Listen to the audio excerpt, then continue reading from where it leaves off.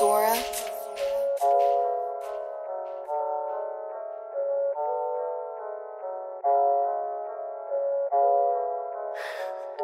many times do you want me to say this?